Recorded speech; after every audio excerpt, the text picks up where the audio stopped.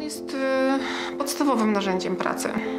On pozwala nam e, wysyłać oferty, e, sprawdzać ceny. Mm, także w przypadku bieżącej obsługi gości, gości, którzy się meldują, pozwala nam także na szybką weryfikację, czy na pewno wszystkie elementy, które gość wcześniej w rezerwacji otrzymał, czy my je widzimy, możemy w właściwe miejsce pokierować gościa.